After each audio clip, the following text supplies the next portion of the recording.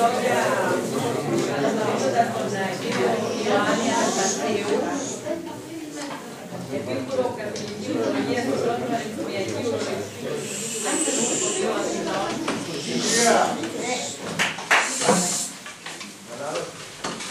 Ε, Μας κάνει την τιμή και τη χαρά να είναι απόψε μαζί μας και πάλι.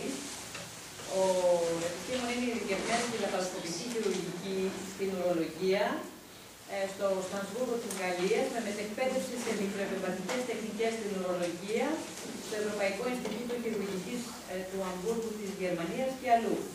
Πραγματοποιεί συνεχείς επισκέψεις στο εξωτερικό, ιδιαίτερα στη Γερμανία, για συνεχή ενημέρωση και εκπαίδευση. Ο ίδιος ταυτόχρονα δίνει διαλέξεις και κάνει εισηγήσεις σε ελληνικές επιστημονικές συναντήσεις.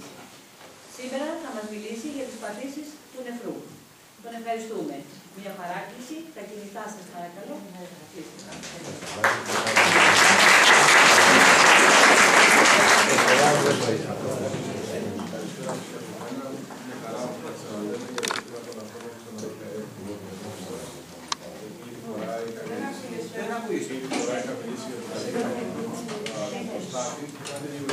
Μου είπα να βάλουμε μικρόφωνο, αλλά πιστεύω ότι μπορείτε να με ακούτε, αν κάνετε λίγο ησυχία. Εντάξει. Λοιπόν, είπα λοιπόν ότι πριν από ένα χρόνο τα είχαμε ξαναπεί. Τότε είχαμε μιλήσει για τον καρκίνο του προστάτη. Ε, είχαμε περάσει πολύ καλά μαζί. Ε, πιστεύω ότι είχατε ενημερωθεί αρκετά καλά για τον καρκίνο του προστάτη. Τώρα θα κάνουμε έτσι μια δεύτερη σειρά. Το θέμα που θα μιλήσουμε σήμερα είναι γενικά το νεφρό και γενικά για τις παθήσει του νεφρού, τις οποίες ασχολούμαστε εμείς οι ουρολόγοι. Όχι με όλες τις παθήσει του νεφρού που ασχολείται ο παθολόγος ή ο νεφρολόγο ή οποιοδήποτε άλλο συνάδελφος από άλλη ειδικότητα.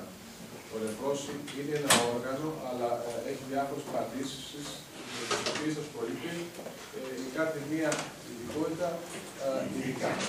Έτσι λοιπόν, για να ξεκινήσουμε σιγά σιγά και να καταλάβετε πάνω κάτω όταν λέμε νεφρό, τι εννοούμε, που βρίσκεται, τι κάνει αυτό το πράγμα, το τι συνδέεται, που πάει, που καταλήγει. Λοιπόν, αυτή είναι η νεφρή. Εντάξει. Είναι πίσω στη μέση μας, να το πούμε έτσι λαϊκά. Ε, τα νεφρά, βασική του είναι, είναι η παραγωγή του νερού. Τα οποία αφού παράγουν τα ούρα, εδώ έχουμε μια λέγαμε που λέγεται τίενος, και μετά με ένα σωληνάκι που λέγεται ουρικύρας, καταλήγει στο ορολόγο κίστη. Όπου βασικά εκεί αποθηκεύονται τα ούρα και όταν εκεί γίνει μια συλλογή περίπου στο 300 χιλικά εκατοστά, αποβάλλονται διαμέσου του ορίχου.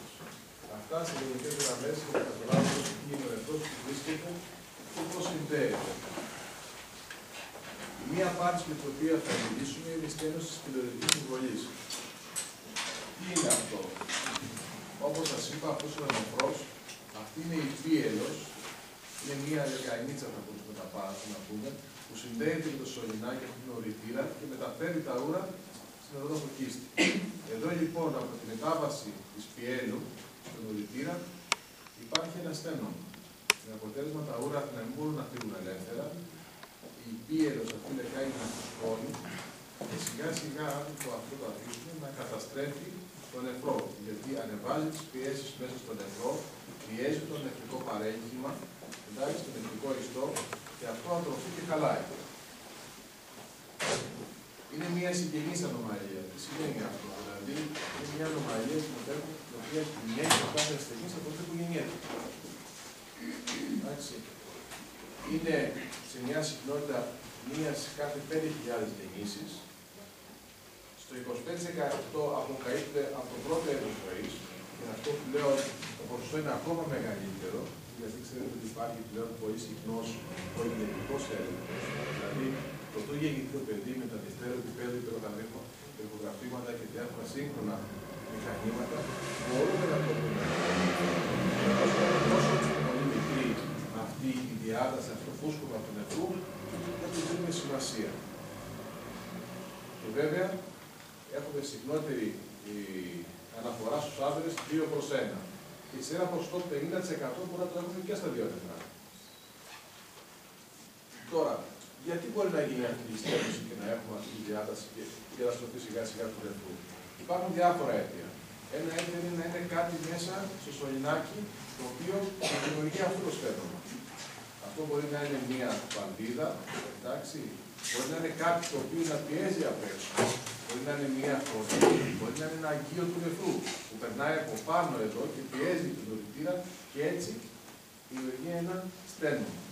Και βέβαια μπορεί να είναι αποτέλεσμα και από μια άλλη πάθηση όπως είναι η στερεοτυπική παλιδρόμηση, όπου είναι ένα συχνό, συχνό τέλος πάντων, όπως βλέπουμε στα νεαρά και στα μικρά παιδιά, που βασικά τα ούρα από την πίστη ανεβαίνουν πάλι πάνω στο νεφρό. Ενώ κανονικά και φυσιολογικά αυτό δεν γίνεται. Γιατί εδώ πέρα η φύση μας έχει δημιουργήσει μια βαλβίδα έτσι ώστε τα ούρα να πηγαίνουν από τον νεφρό προς την πίστη, αλλά και ακόμα όταν πηγαίνουμε και ορούμε και ανεβάζουμε πιέσεις μες στην πίστη, να μην πηγαίνουν στο νεφρό. Γιατί αλλιώς καταστρέφουν τον νεφρό. Μερικές φορές όμως αυτή η βαλβίδα είναι ανεπαρκής και αυτό λέγεται ιστορική πανδρόμηση και μπορεί να είναι αυτή η αιτία για αυτό το πράγμα που είπαμε πριν από λίγο. Και είναι η γενική εικόνα, δηλαδή τι θα μας εμφανίσει αυτό το νόσο. Είναι εντελώς διαφορετικό από την ηλικία στο οποίο βασικά θα βάλω τη διάγνωση αυτόν τον νόσο. Έτσι λοιπόν, σε ένα βρέφος θα δούμε ότι αυτό το βρέφος θα κάνει συχνέ ορολιμόξει και μάλιστα θα είναι εμπειρετό, δηλαδή θα κάνει πυρετό αυτό το παιδί. Ένα παιδάκι σε αυτές τις ηλικίες που κάνει συχνά πυρετό, θα πρέπει να το ψάξουμε πού οφείλεται. Σίγουρα υπάρχει μια αιτία, δεν είναι μια ήλωση ή οτιδήποτε άλλο. Και ειδικά όταν μιλάμε για λοιμώξεις, ουρολοιμώξεις, τότε θα πρέπει να το ψάξουμε αν υπάρχει κάποιο ανασωμικό πρόβλημα. Ένα από αυτά λοιπόν τα ανατομικά προβλήματα είναι και η στένωση τη πληρωματική συμβολής. Το πιο συχνό βέβαια στα παιδάκια είναι αυτό που είπαμε πριν, η πληρωματική παγιδρόμηση. Αλλά είναι και η στένωση τη πληρωματική συμβολής. Και όταν ένα παιδάκι κάνει λοιμώξη, αλλά στέγει συχνά, τι παθαίνει, δεν έχει σωστή ανάπτυξη. Δηλαδή έχουμε μια καθυστέρηση στην ανάπτυξη. Έχουμε διαταραχέ, σύγκριση, δηλαδή το παιδί να κάνει περιττό, ξέρω δεν τρώει. Δεν θέλει να πάει. Έχει μια ανάπτυξη. Και βέβαια, επειδή τα παιδάκια είναι λεπτά, μπορούμε ακόμα και το μάτι μα να δούμε ότι κάτι είναι πλησμένο σε αυτό το σημείο της δουλειάς. Και αυτό μα κάνει τίποτα άλλο, μόνο το σκοπό λεπτό. Εάν το δούμε σε μια μεγαλύτερη ηλικία, δηλαδή σε ένα παιδάκι που πηγαίνει σχολείο, σχολική ηλικία, τότε εδώ θα έχουμε άλλα συμπτώματα. Αυτό το παιδάκι μπορεί να μας πει ότι πονάει η κοιλίτσα του συχνά ή πονάει η μέση του συχνά. θα μας λέει ότι έχει τάση για μετό, ότι ζαλίζεται, κάνει μετό. Όλα αυτά είναι στοιχεία βασικά και μια κλινική εικόνα ενός διαλύκου κολλικού του νεφρού. Και στη μεγαλύτερη ηλικία μπορεί ένας ασθενής να έχει απολύτως τίποτα. Να αισθάνεται απλώς ένα βάρος στη μέση του, το οποίο θα το αποδίδει πολύ συχνά ότι κουράστηκα σήμερα γι' αυτό πονάω, σήκωσα το τάδε βάρος και γι' αυτό πονάω, όμως δεν είναι αυτή η αιτία. Η αιτία είναι αυτό το πραγματάκι που είπαμε, η στέλνωση περιοδική συμβολής. Βλέπετε εδώ πολύ καλά πώς είναι στενωμένος ο ρητήρα και πώς διαδίδεται η πύρωση και καταστρέφει σιγά σιγά τον νεφρό. Και έτσι λοιπόν έχουμε το λεγόμενο φωλικό του νεφρού. Δηλαδή ένα πόνο στο νεφρό, μετάσχετο στο νεφρό και έχουμε και αναρτία. Αυτή μπορεί να είναι αιτία για ορογημόξει και πολλές φορές μπορεί να είναι αιτία και για υπέρταση. Δηλαδή να έχουμε την αναμενή αρτηριακή πίεση. Πώς θα βάλουμε τη διάγνωση; Το πρώτο και το πιο εύκολο που πρέπει να κάνουμε, μπορούμε να κάνουμε, είναι βασικά ένα υπερηχογράφημα.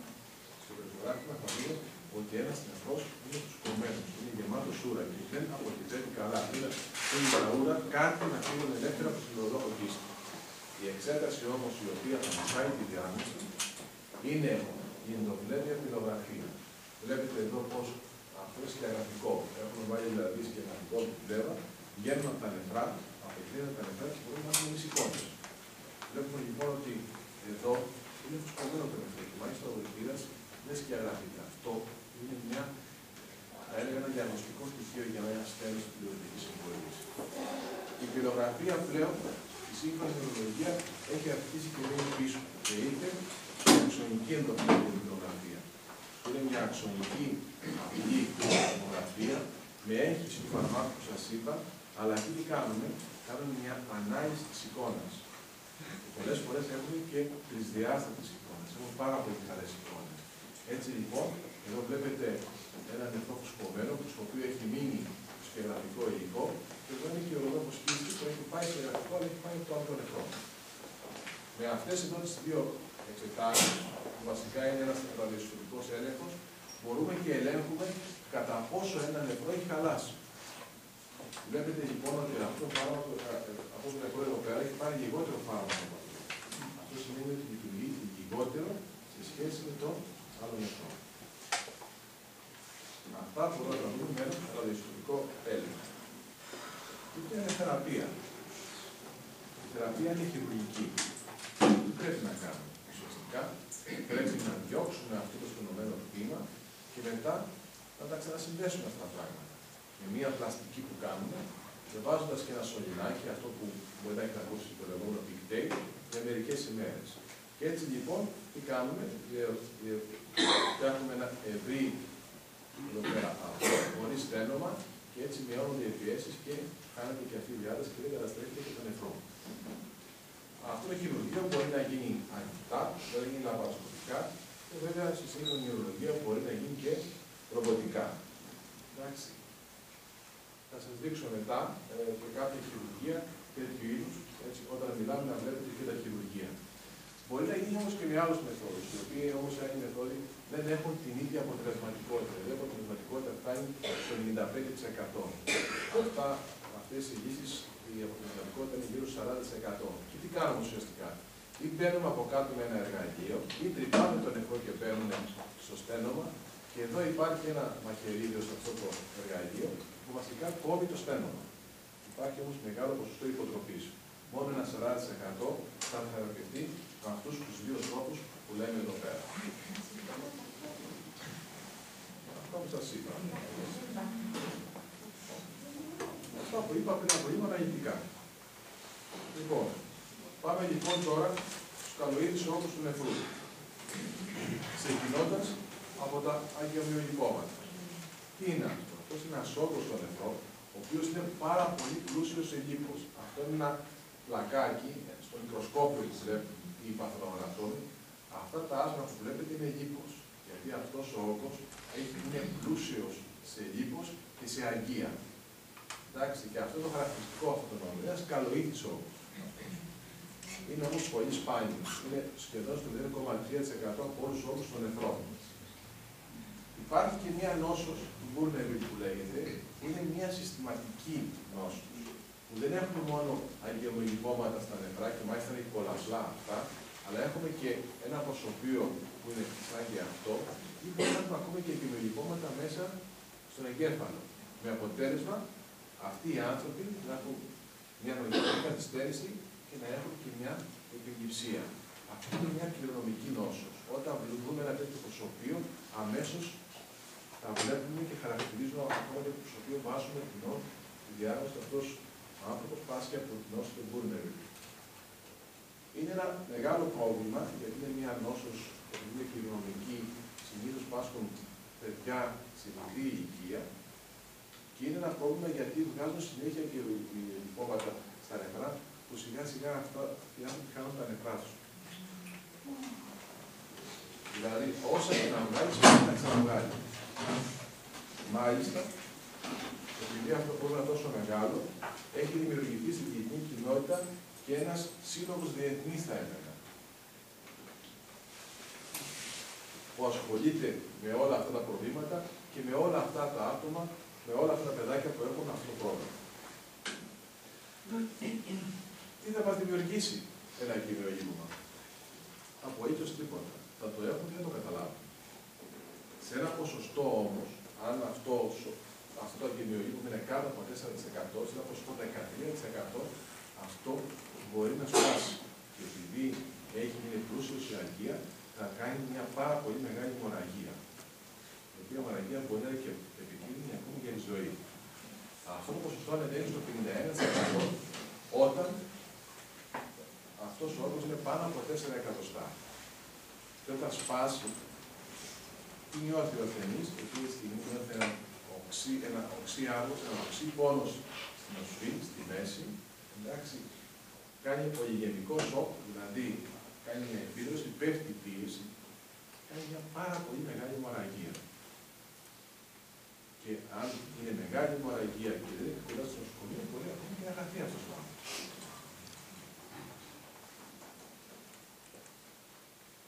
Η διάγνωση για τα κοινωνικόματα είναι συνήθως τυχαία διάγνωση, δηλαδή ένας άνθρωπος κάνει ένα υπερχογράφημα για τσεκάπ και βρίσκει ξαφνικά ότι έχει ένα μόρφωμα στο νεφρό. Τίποτα παραπάνω. Όμως η διάγνωση για το κοινωνικό μας τη βάλει η αξιονική τομογραφία. Γι' αυτό γιατί, γιατί είπαμε ότι το κοινωνικόματα είναι πλούσια σε λίπος. Και η αξιονική τομογραφία διαβάζει πάρα πολύ καλά αυτό και είναι η μοναδική εξέταση η οποία μπορεί να μας πει με μεγάλη ακρίβεια ότι ναι, αυτός ο όγκο είναι αγκυμιολογικό. Και τι πρέπει να κάνουμε; Μιλάμε για ένα καλοήθιο όγκο. Άρα θα πρέπει, εάν μπορούμε, να βγάλουμε τον όγκο και να διατηρήσουμε το όργανο. Παλιά, πριν από μερικά χρόνια, πριν από πολλά χρόνια θα μπορούσα να πω, τα όργανα δεν τα σεβόμασταν και πολλά πάρα πολύ. Έχει έναν λόγο που βγάζουμε τον νεφρό.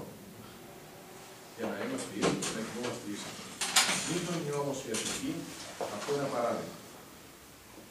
Πάντα προσπαθούμε να διατηρούμε τα όργανα. Και μόνο στη τελευταία επιλογή βγάζουμε ένα όργανο. Έτσι λοιπόν, τα γυναικόματα, σαν θεραπεία, η καλύτερη θεραπεία είναι να κάνουμε μερική νεφρεκτομή. Ουσιαστικά τι να κάνουμε, να βγάλουμε τον όγκο και μετά να ράψουμε τον νεφρό. Ακούγεται απλό, δεν είναι τόσο απλό. Γιατί κόβουμε ένα όργανο το οποίο είναι παραχηματικό. Είναι συμπαγέ όργανο. Εντάξει, αλλά αυτή είναι η θεραπεία επιλογής. Μόνο όταν μιλάμε για ένα στιγμή που στον ένα νεφρό έχει πάρα πολλά οικημιολογικόματα ή όταν μιλάμε ότι στον ένα νεφρό έχει ένα οικημιολογικόμα που εμένα μου έχει τύχει να είναι ένας 15 εκατοστά. Ένα πεντόριο δηλαδή οικημιολογικό. Δεν έχει καμία, κανένα σύμπτωμα. Ισχύει ο έδωμα είναι στα λιπέρ. Όμως, επιμένω ότι ακόμα και εκεί πρέπει να προσπαθήσει να λειτουργήσει το νεφρό.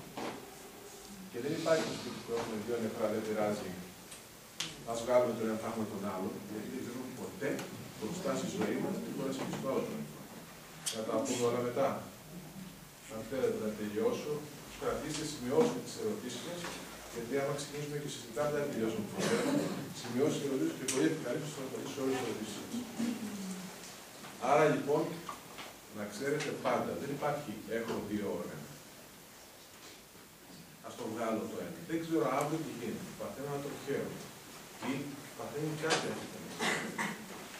Άρα θα πρέπει οπωσδήποτε πάση θυσία να διατηρούμε τα όργανα. Το βοηθήτωμα είναι ένα άλλος όγκος του νεφρού.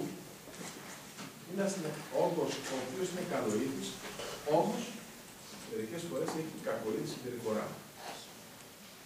Επειδή πολλές φορές ε, ε, έρχονται ασθενείς ή συγγενείς και σου λένε ότι έχει ένα κακοήθη νεόπλασμα, έχει νεόπλασμα καρκίνο. Εντάξει. Το καλοήθη νεόπλασμα είναι ένας καλοήθη όγκος. Όταν μιλάμε για κακοήθη νεόπλασμα, για κακοήθη όγκο είναι καρκίνο. Εντάξει, είναι κάποια πράγματα που πρέπει να τα ξεχωρίζετε και να καταλαβαίνετε τι σας λέει κάποιος. Αυτός λοιπόν, αν και είναι ένας καλοήθης όγκο, μερικές φορές έχει κακοήθης συμπεριφορά. Δηλαδή είναι ατόμικε μεταστάσεις. Και γι' αυτό, και επειδή είναι πάρα πολύ δύσκολο να τον διαδιαγνώσουμε με τον καρκίνο, προχωρούμε σε μια αντιμετώπιση ώστε να είναι καρκίνο. Τι θα μας παρουσιάσει. Τίποτα. Τίποτα δεν μας παρουσιάζει; Ένα τυχαίο εύκολο.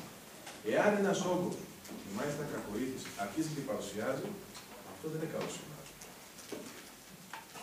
Ο όγκος που, ειδικά ο καρκίνος, που δημιουργεί συμπτώματα, σημαίνει ότι έχει προχωρήσει.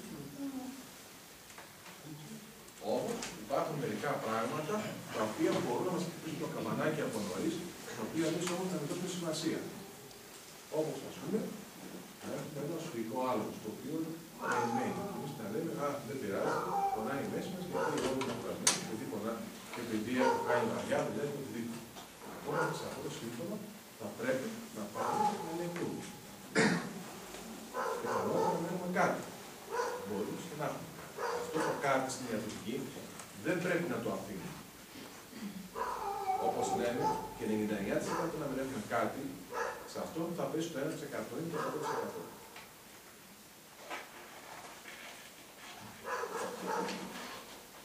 Η διάγνωση. Η διάγνωση θα μπει με την αξιολογική τομογραφία και την μαγνητική τομογραφία, αλλά τίποτα από το κάνει έναν αποτελεσματικό έλεγχο δεν θα μας πει ότι αυτό είναι το κείμενο. Θα μας πει ότι αυτός είναι ένας όγκος του λεπτού που θα είναι ένα κακό. Ακόμα και η ουσία που κάνουμε δεν μας καλύπτει Μία θετική βιοψία για καρκίνο μας καλύπτει, μια αρνητική βιοψία για καρκίνο δεν μας καλύπτει. Και γι' αυτό η βιοψία στους όρους του νεκρού δεν έχει καμία ένδειξη σήμερα.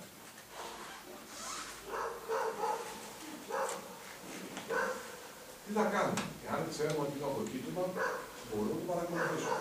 Αν δούμε ότι μεγαλώνει, τότε να προχωρήσουμε στην παρέμβαση. Όμως, αυτό συνήθως δεν το ξέρουμε ποτέ. Και γι' αυτό προχωράμε στην αντιμετώπιση. Που κατά κύριο τρόπο είναι η μερική νεφρεκτομή και μόνο αν είναι μεγάλος ο όγκος είναι η νεφρεκτομή. Και για να πάμε στο κλασικό καρκίνο του νεφρού.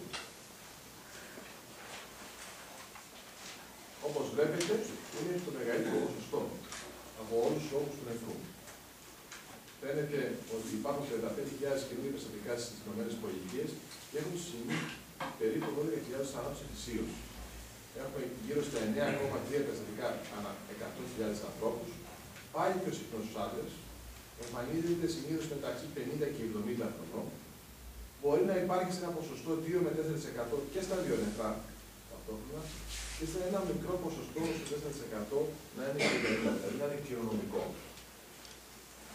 Δεν υπάρχει όμως σε γενικές γραμμές κοινωνικότητας του καρκίνου του νεφρού. Πού μπορεί να οφείλεται. Σε όλα αυτά μπορεί να οφείλεται, αλλά σε τίποτα από όλα αυτά δεν έχει αποδειχθεί ότι έχει άμεση σχέση. Δηλαδή μπορεί να πεις, Α, δεν πάει καρκίνο του νεφρού γιατί κάπνισε. Εντάξει, καπνίζουν και άλλοι πολύ περισσότεροι δεν πάθανε Όμως, αυτό εδώ πέρα, δηλαδή η μακροχρόνια αιμοκάθαρση, φαίνεται ότι συσχετίζεται γιατί σε αυτούς τους ανθρώπους μπορούμε να δούμε γύρω στι 30 φορέ περισσότερο. Άρα οι άνθρωποι οι οποίοι κάνουν αιμοκάθαρση και συνήθως αυτοί έχουν και πολιτιστικού νεκρού, έχουν 30 φορές μεγαλύτερη να πάνε από το νεκρό. Και γι' αυτό θα πρέπει να τους υπόψη και να ελέγχουν. Και το ελέγχουν νεφρολόγοι. Γιατί αυτοί οι άνθρωποι παρακολουθούνται από νεφρολόγου θα μας δώσει κάτι; Όπως σας είπα, αν μας δώσει όλα αυτά τα πράγματα, η νόστος είναι αρκετός. Συνήθως δεν μας λέει τίποτα. Το βρίσκουμε τη στοιχεία σε ένα check-up ή πάει και κάνει κάποιος έναν υπέρηχο περιχωρήτη και βρίσκει ένα νόστο Γι' αυτό πλέον στη σύγχρονη κοινωνία, στη σύγχρονη ιατρική, πάει να μπει ο όρος ότι ο καρκίνος του νεφρού είναι ο καρκίνος του, είναι ο, ο, ο καρκίνος του ακτινολόγου. Γιατί αυτοί βάζουν συνήθως πρώτα τη διάγνωση εντελώς τυχαία με αφορμή κάτι άλλο.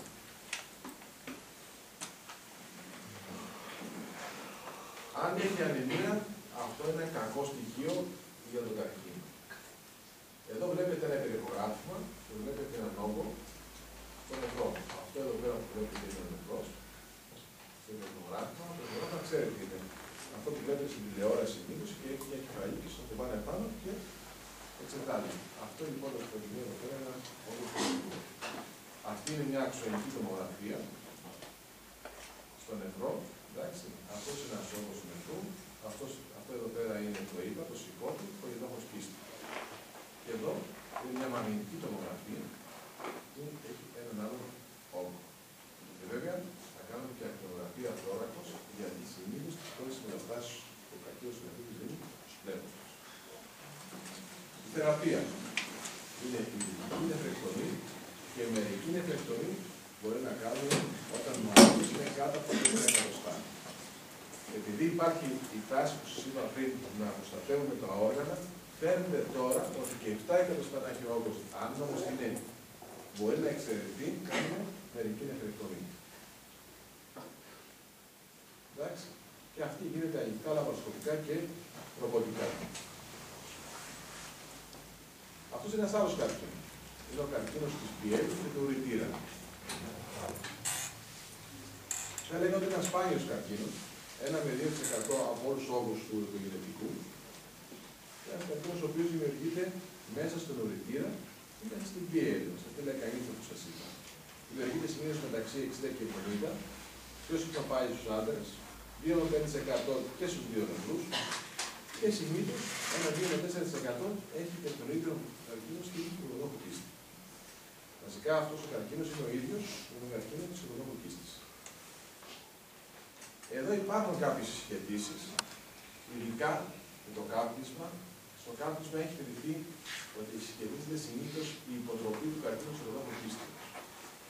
Όμως, η χρόνια χρήση των αναλυτικών, η χρόνια πνευμονή και ειδικά η νοικίαση της πιέλου δημιουργεί ένα καρκίνο, ο οποίος είναι και μάλιστα κακός καρκίνο και δύναμη πλακώνη. Και συσχετίζεται με τον καρκίνο της πιέλου. Έχει κάποιο σύμπτωμα; Μακροσκοπική αιματορία. Είναι ένα σύμπτωμα και πιστεύω ότι είναι ένα από τα στοιχεία που πρέπει σήμερα να το ακούσετε. Όταν έχουμε αιματορία, είτε με το μάτι μας, δηλαδή μακροσκοπική την βλέπουμε, είτε πηγαίνουμε και κάνουμε μια γενική και βλέπουμε πολλά ερυθρά, αυτό θα πρέπει να μας πληθεί στο καβανάκι. Για εμάς τους ουρολόγους είναι αρχή κάθε μακροσκοπική ευατορία να την εκλαμβάνουμε σαν καρκίνο της αποκεντρωτικής μοίρας και αφού το απορρίσουμε να ψάχνουμε κάτι άλλο. Είναι ένα σύμπτωμα που συνήθως δεν του δίνουμε μεγάλη σημασία. Με αποτέλεσμα να βλέπουμε ένα νόσημα το οποίο να μπουν το οποίο μπορεί να αντιμετωπιστεί με τρόπο αρκετά προχωρημένο. Μακροσκοπική αιματορία, αίμα στα όλα δηλαδή, το έχουμε και άλλα νοσήματα. Και μία αυγή πνευμονή στην γυναίκα στην κίστη μπορεί να δώσει την πατρίδα. Όμως αυτό το πρέπει να το εκμεριώσουμε. Δηλαδή, αν δούμε μικρόβια στην κίστη και έχει μια συμπτωματολογία για γυναίκα με εθιστικά συμπτώματα, δηλαδή η συμπτωματολογία του σήμερα και όλα αυτά, τότε δεν πούμε ότι έχει να ψάξει και κάτι γιατί είναι εμφανώ και έχει μια πνευμονή τη κίστη, δηλαδή μια κιστίτητα. Αν όμως δεν έχει τίποτα και έχει μόνο αιματορία, πρέπει να πάει στα 60-75% κάτι τρέχει. Αυτό είναι πάρα, πάρα πολύ σημαντικό. Όλα τα άλλα μιλάνε για μία προχωρημένη νόσο. Εντάξει. Θα κάνουμε κάτι παραπάνω, βεβαίως. Όταν ένας άνθρωπος έχει μια μακροσκοπική αιματορία, πρέπει να κάνει ένα πρωτόκολλο, ένα κύκλο εξετάσεων. Αυτό είναι το γράφημα, είναι η αξονική ενδοφυλάκια υποτονοφία, είναι η κυταρολογική εξέταση των νέων για τρει συνεχείς ημέρες, που δεν το έχουμε εδώ πέρα, και βέβαια η ιστιοσκόπηση μαζί με την ουροκυροσκόπηση ή την εχοσκόπηση. Δηλαδή μπαίνουμε ένα εργαλείο μέσα και από μέσα βλέπουμε στην ονομητήρα ή και τον νεκρό δεν έχει κάτι. Αυτός λοιπόν εδώ, αυτό το πέρα που βλέπετε που μοιάζει με κουμπίλι, είναι ένας καρκίνο σπίρι. Και με αυτόν τον τρόπο είναι ένα πρωτόκολλο το οποίο εάν δεν βρούμε κάτι, λέμε δεν έχεις κάτι. OK, okay. δεν λέμε δεν χρειάζεται να κάνεις κάτι για την αιματουρία.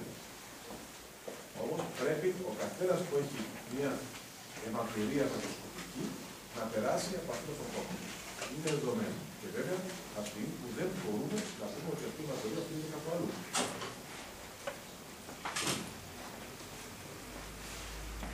Ποια είναι η θεραπεία; Βασικά, καρκίνος της πύρας βγάζουν το νεκρό και βγάζουν και όλο τον νοητήρα μέχρι την κίστη. Και αυτό γιατί; Γιατί είναι πολυεστιακός καρκίνος. Εάν είναι στην πίελο και βγάλεις μόνο το νεκρό με την πίελο, υπάρχει μεγάλη πιθανότητα μετά από ένα χρονικό διάστημα να γίνει κάτω, πιο κάτω στο σωληνάκι στην νοητήρα. Γι' αυτό λοιπόν η μυθιόμενη θεραπεία είναι να βγάλουμε τον νεκρό και μαζί με τον νεκρό να βγάλουμε και τον ουρητήρα. Και βέβαια και αυτή, αυτό το χειρουργείο γίνεται με αυτούς τους τρεις τρόπους. Λοιπόν, θα σας ευχαριστώ για την προσοχή σας. Ε, μαζί με την Άγγι που έρχεται εδώ πέρα το σκυλάκι, γιατί σήμερα όλου έχουν μια νησιάτικη ημέρα. Ε, μπορείτε να κάνετε οποιαδήποτε ερώτηση θέλετε γύρω από όλα αυτά που είπαμε. Εγώ βάλω να παίζει και ένα βίντεο ε, με ρομποτική επεκτομή, δηλαδή το πώς γίνεται, πώς βλέπει το ρομπότ.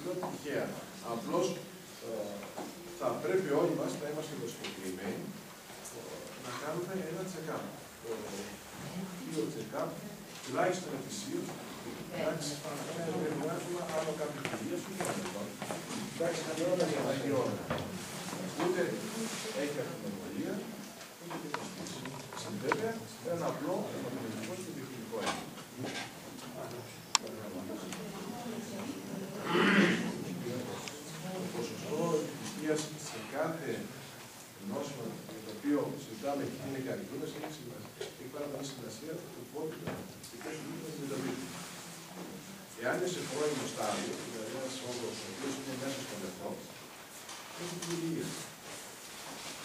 Όταν όμως είναι ένας όγκο ο οποίος είναι εξαπλωμένο, δηλαδή έχει δώσει καταστάσει, τότε πράγματα δυσκολεύουν. Έχει βρεθεί βέβαια, και αυτό έχουμε δει αυτό, ότι ακόμα και μεταστάσει να έχει ένας καρκίνο με αποτέλεσμα, αυτές οι μεταστάσει να εξαφανίζονται μετά από μια συμπληρωματική χημειοθεραπεία.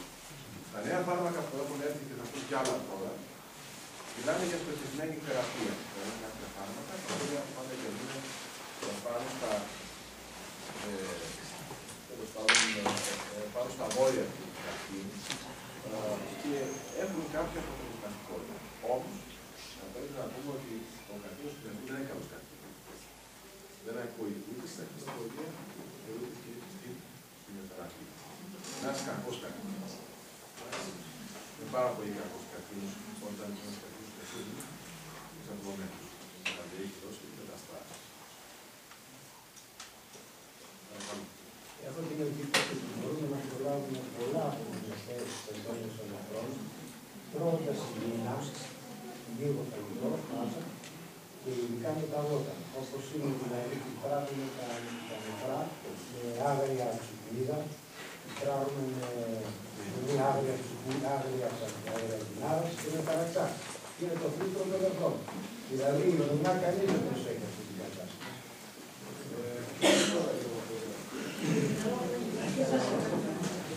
Λοιπόν, έχω πω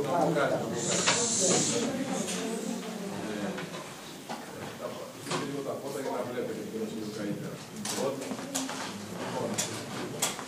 Πολλά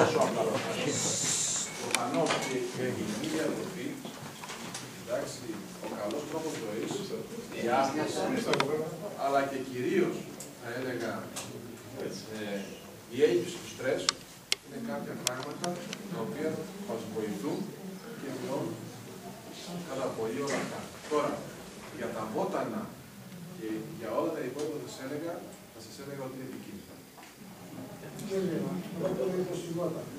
Μερικά πράγματα.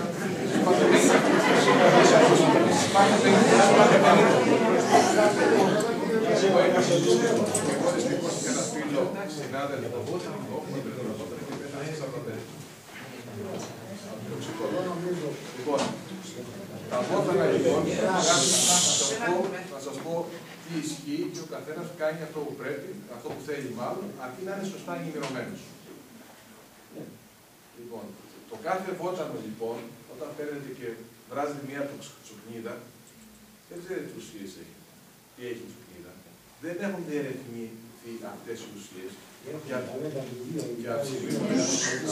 δεν έχουν διερευνηθεί, δεν είναι γνωστή η τοξικότητα. Και η τοξικότητα κάθε ουσίας είναι δεδομένη και φαρμακευτικά η συγκέντρωση κάθε ουσίας για να γίνει τοξική είναι συγκεκριμένη. Δηλαδή, εάν η τσουκνίδα και η κάθε τσουκνίδα έχει μία ουσία α που είναι τοξική στα 5 μιλιγκράμμ και την πάρετε εσείς στα 10, θα είναι τοξική, θα σας κάνει κακό. Εάν την πάρετε στα 2, δεν θα είναι κακό. Όμως αυτό σε όλα τα βότερα δεν είναι, μπορεί να καθοριστεί. Άρα παίρνετε κάτι τυφλά. Δεν μας λέτε για εκεί, καλύτερα. Για και η Θα κάνουμε μια ρομποτική τώρα εμείς. Ναι. Το ρομπότ βασικά τι είναι; Το ρομπότ έχει τέσσερις βραχίονες, το οποίο μπαίνει στα αυτά τα τροκάρ που είδατε, σε αυτούς τους κολλήνες, στις τρύπες, παίρνουν διαμέσου τυπό και εκεί συνδέεται το ρομπότ. Εμείς είμαστε σε μια κονσόλα, στην άλλη άκρη του δωματίου, που έχουμε δύο χειριστήρια από κάτω και τα χειριζόμαστε. Αυτό και αυτό είναι το ρομπότ. Αυτό του βοηθού. Αυτό είναι το ρομπότ και αυτό είναι το ρομπότ. Εντάξει. Εμείς βλέπουμε μέσα από κάτι σαν κιάλια που είναι, σε μια μεγέθυνση 7 φορές περισσότερο, μεγαλύτερο, και βέβαια το βλέπουμε και τρισδιάστατο. Σε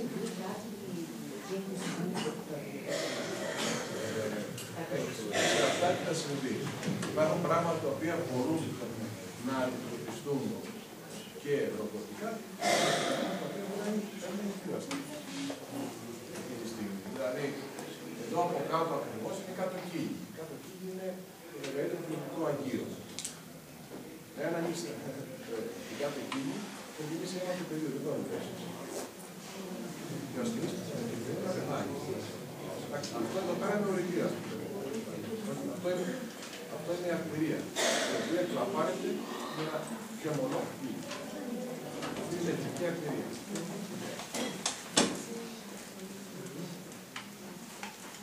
Δεν είχε κάπως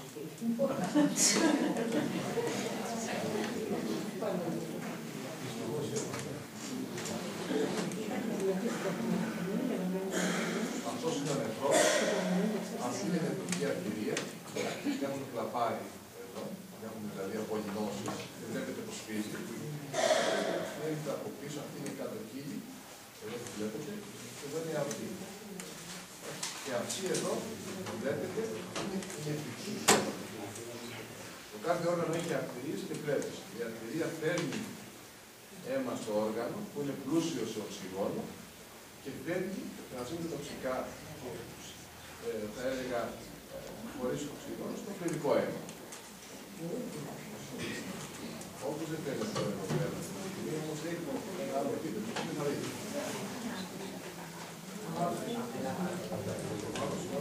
Λαβασκοπικά. Ε, εντάξει, είτε λαβασκοπικά είτε ρομποτικά και ανοιχτά είναι χειρουργείο. Εντάξει, ένα. Το δεύτερο είναι όλα ευγενική δάφνη. Γι' αυτό σας το λέω γιατί, γιατί πρέπει να λέμε τα θετικά και τα αρνητικά του, πώς μπορεί να είναι ανοιχτό, αλλά δεν πρέπει να υπερβάλλονται τα παραπιστήμια. Γι' αυτό, εάν τυχόν ξέρετε να μην συμβεί, πάτε και χειρουργείτε για κάτι και κάποιος σας δώσει κάποιους μεθόδους για χειρουργείο, θα πρέπει να τους ζητήσετε να συνημερώσει σύμφωνα με την σύγχρονη βιβλιογραφία για την αποτελεσματικότητα αυτή τη μεθόδου. Δεν υπάρχει στην Αττική, εγώ το κάνω έτσι και είμαι.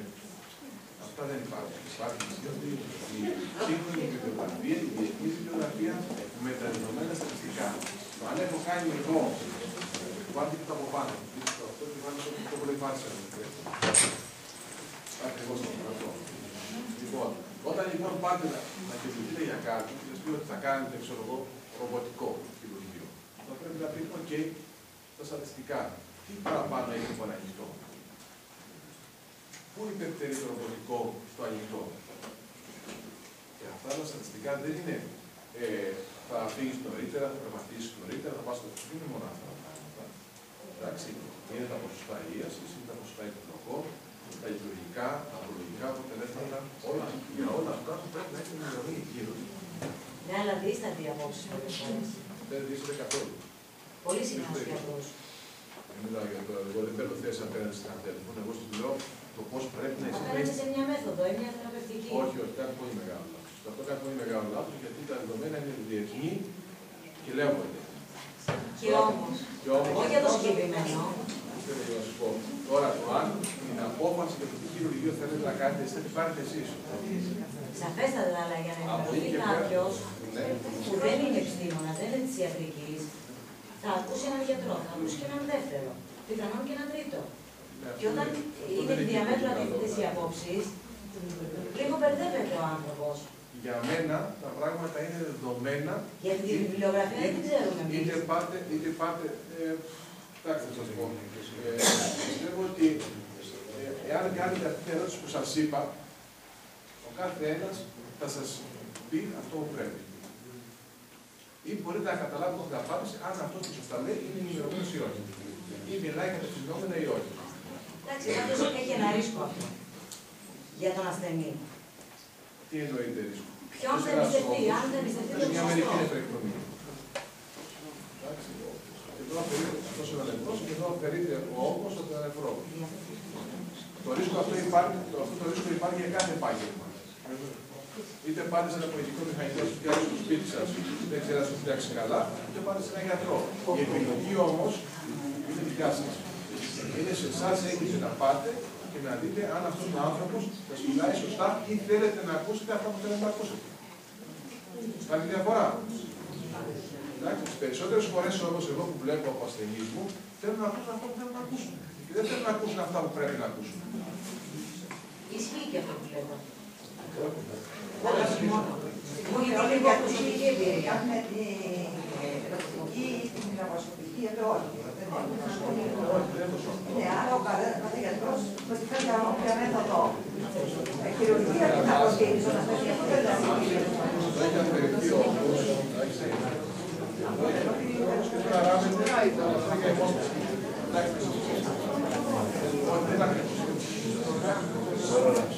Η ρομποτική, ας πούμε, εμφανίστηκε την τελευταία δεκαετία.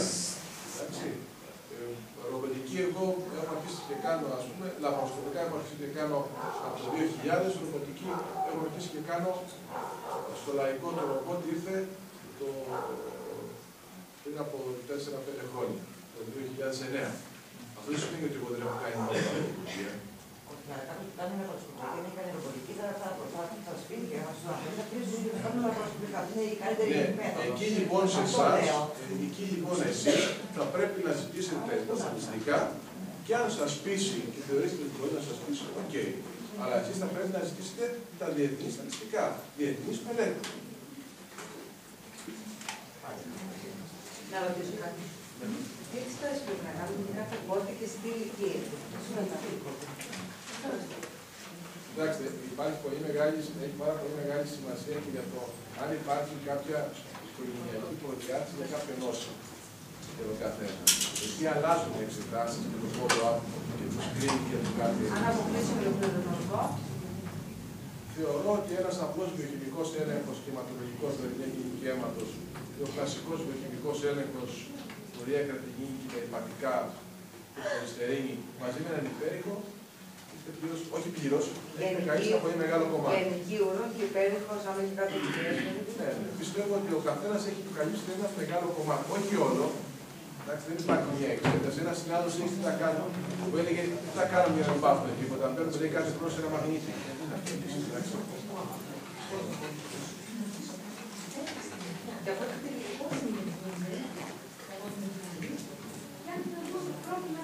Αυτό είναι ένα άλλο θέμα. Αλλά θα σας πω. Λοιπόν, πέτρε στην νεφρά. Ε, μόνος σε ένα 5% μπορούμε να ξέρουμε αν είναι η Το 95% είναι ιδιοπαθείς ηλικίες. Δεν ξέρουμε την αιτία της Γι' αυτό το λόγο δεν μπορούμε να δούμε θεραπεία ή πρόληψη. Και γι' αυτό λέμε πάντα ότι ε, το καλύτερο για έναν που έχει ιστορικό με λυκίαση είναι να πίνει πολλά νερά.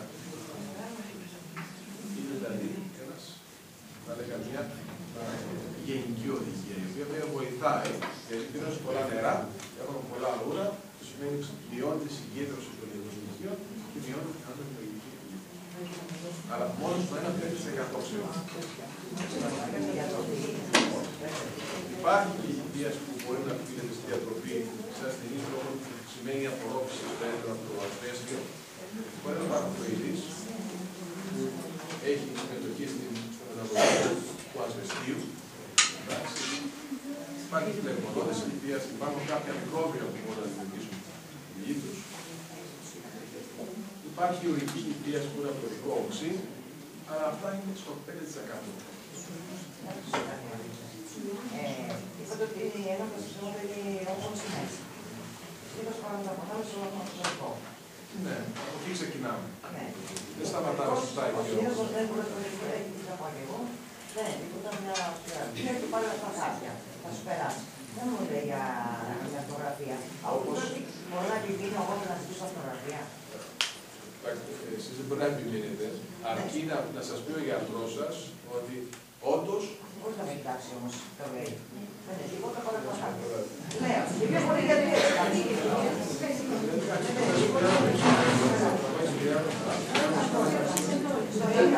όντως υπάρχει ανησυχία και όχι να ψηφίσει αυτό δεν είναι ακριβώς έτσι.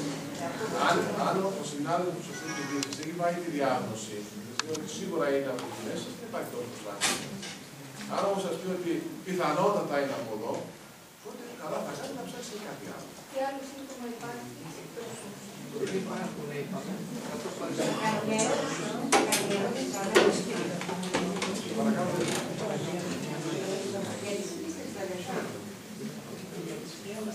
Επίσης, ε, είναι οι απλές κίνησεις είναι καλό ίσονο. Έχουν ε, ένα περιεχόμενο, ένα διαρκή υγρό και συνήθως δεν χρειάζεται καμιά αντιμετώπιση. Εκτός αν αυτή η κίστη μεγαλώσει πάρα πολύ, έτσι ώστε να πιέσει τον νευρό και η ασθενής ή ο ασθενής να πονάει ή να δημιουργεί πρόβλημα στην παρατήρηση των νεφρών. Προτού έρθω εδώ πέρα είδα μία α, ασθενή στο χειρουργείο, η οποία είναι και λαδαπή μάλιστα, η οποία έχει μια πίστη στο νεφρό το δεξί, η οποία είναι 25 εκατοστά. Η οποία έχει με- πιέσει το νεφρό και πάει από την αριστερή πλευρά. Αυτό δεν είναι μετώπιση. Εντάξει. Υπάρχουν και κοίησεις οι οποίες δεν έχουν καλό για τη συμπεριφορά. Αυτές είναι οι κοίησεις οι οποίες έχουν, δεν έχουν διαρκή υγρό. Εντάξει. Και όλες αυτές οι κοίησεις που δεν έχουν διαρκή υγρό, γιατί υπάρχει και μια ταξινόμηση που είναι τα πόλια, τις αντιμετωπίζουμε ως αν να είναι κακοήθειες. Και αν είναι κακοήθειες, συνήθως είναι χαμηλού δυναμικού. Δηλαδή δεν έχουν βγάλει. Πείτε μου. Ναι. Έχουν βρει το λόγο σε έρευνες γιατί οι περισσότερες συνταγραφές ότι δεν θα κάνουν μεγαλύτερο ποσοστό με άντρες. Έχουν βρει το λόγο. Όχι, δεν το έχετε πει αυτό. Σε όλα τα νοσήματα φαίνεται ότι τα ιστρογόνα κάνουν καλό. Αλλά δεν έχει πειράζει. Παρακαλώ.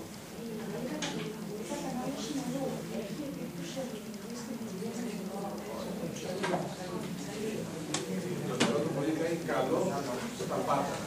Ξεκινάμε από την επιδερμίδα και το δέρμα και σε όλα τα άλλα. Για να πει η κυρία που το σήκωσε, δεν είναι και κουκού. Ποια είναι η μόνη σας, γιατί εδώ το χρησιμοποιούμε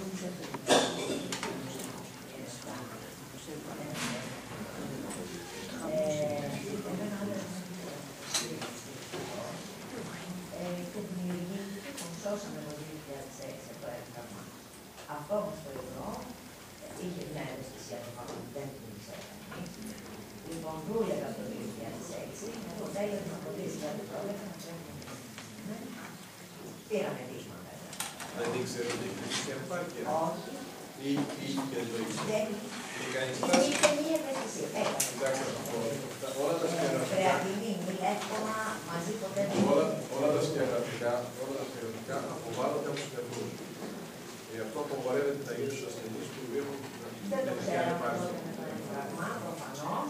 Και τώρα από ό,τι λένε τουλάχιστον, καρδιολόγοι νεφρολόγοι τα τελευταία δύο-τρία χρόνια, μεταξύ τους συναντώνονται, προκειμένου ε, αυτό το υγρό έχει δημιουργήσει σε πάρα πολύ κόσμο. Εγώ, άμα έχω Όχι, όχι, εμπειρία όχι. τον Αυτό δεν εαυτό ισχύει. Δεν ισχύει. Δεν υπάρχει, δεν υπάρχει αυτό το πράγμα. Ποτέ στην ιατρική δεν βάζουμε τα πράγματα σε ένα καζάνι. Δεν υπάρχει τέτοιο κόσμο. Ε, εάν ένας ασθενής έχει πρόβλημα με την- με τα νεφρά του και έχει μια νεφρική ανεπάρκεια ή μια νεφρική νόσο, μπορεί να την προηγήσει. Συνήθως σε όλου του ασθενεί που θα βάλουν σκευαστικό θα του έχει- θα του έχει υδατώσουν πριν. Και εάν ένα ασθενή έχει νεφρική ανεπάρκεια, τότε αυτό μπορεί να είναι ακόμα και αντιέντηση και να βάλουμε σκευαστικό. Ή μπορεί, Μάλλον εάν το είναι. ξέρανε, γιατί Ακριβώς. Εάν- Ή ακόμα και αν υπάρχει τόσο μεγάλη ανάγκη να βάλουμε σκευαστικό, στου ασθενεί που έχουν νεφρική ανεπάρκεια, κάνουμε μετά ένα τεχνικό τεστό, μια αιμοκράταση δηλαδή, και μπορούμε να κάνουμε το θεραπευτικό εάν είναι τόσο μεγάλη ανάγκη. Άρα είναι ένα Παρακαλώ. Ναι. Μετά τους βάζουμε όρους.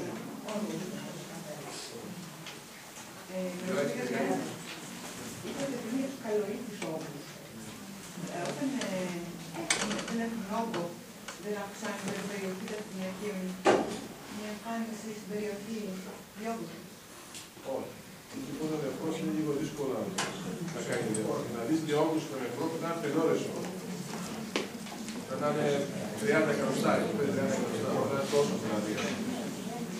Το βλέπεις. Πείτε μου. Ε, σχετικά με τα βιολογικά,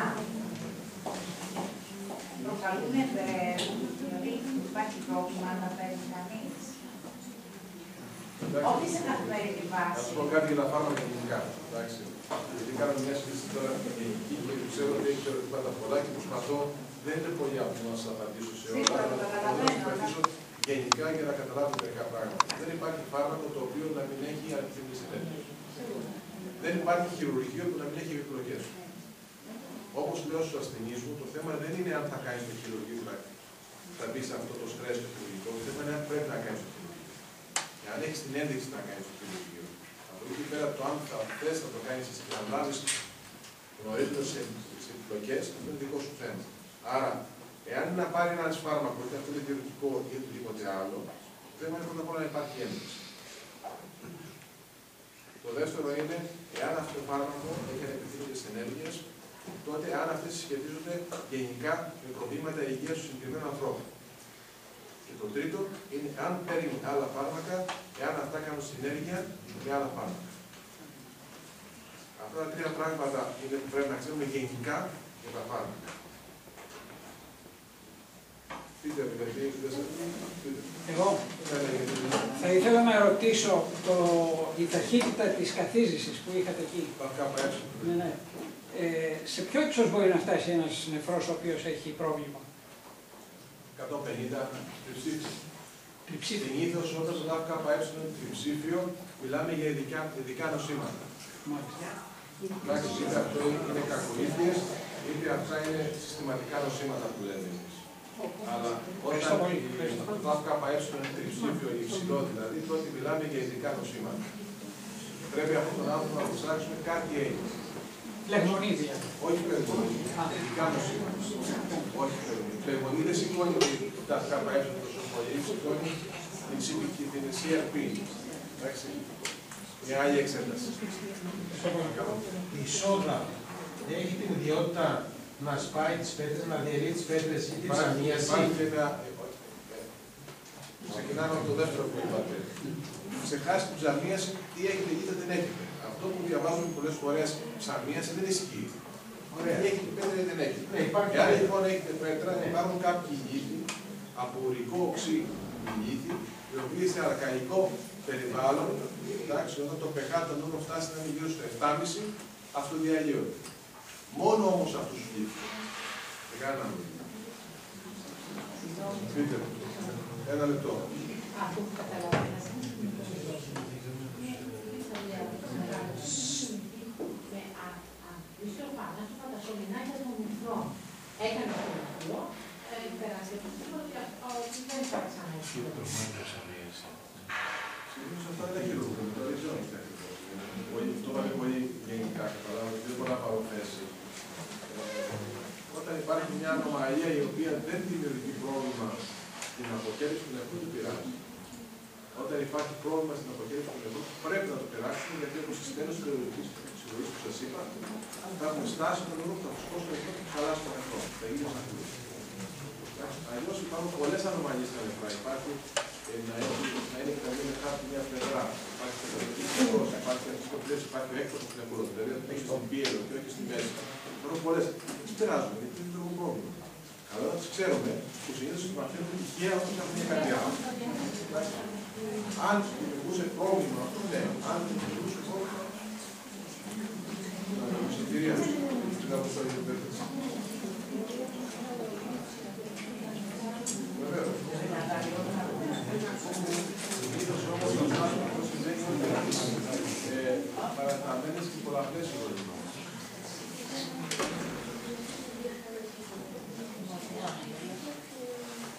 Ε, όχι, όχι.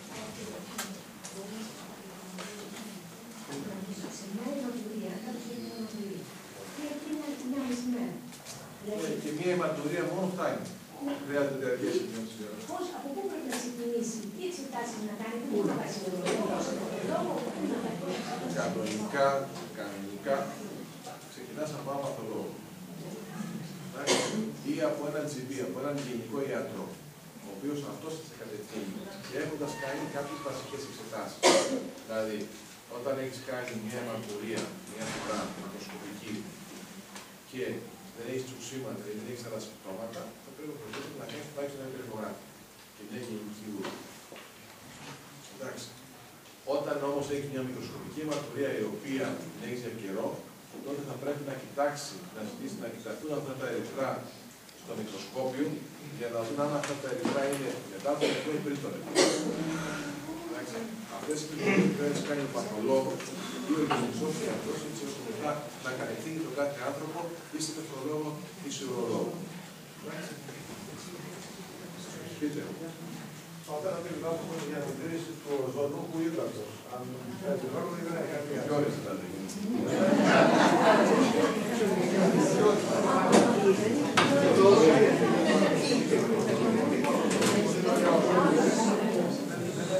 Δεν έχω θέση. Να σας πω κάτι για αυτό το θέμα. Δεν έχω θέση. Ε, Κοιτάξτε να σας πω κάτι. Επειδή έχει- έχω τύχει και όλοι μερικές φορές στην τηλεόραση και στο χειρουργείο που λαγόμαστε μερικές φορές ε, όταν θα ακούτε για οτιδήποτε θα πρέπει να ζητάτε στοιχεία. Τα οποία στοιχεία αυτά να είναι τεκμηριωμένα στη διεθνή τεχνογραφία θα πρέπει να είναι στα περιοδικά και στα βιβλία και στα guidelines, δηλαδή στις κατευθυντήριες γραμμές κάθε ειδικότητα. Εντάξει. Εμένα ο πατέρας μου, ας πούμε, έβραζε, ας πούμε, ξέρω εγώ, ένα χορτάρι και το έφερε και έλεγε ότι, ας πούμε, θα κάνει καλό στα λεφτά. Και πάντα, ναι, έχω κάτι διάφορα. Αυτά όμως, σας είπα, έχω παράδειγμα από ένα, από ένα συνάδελφο. Αυτό που είπα πριν είναι αλήθεια, δεν είναι ψέματα. Εντάξει, δεν είναι ψέματα.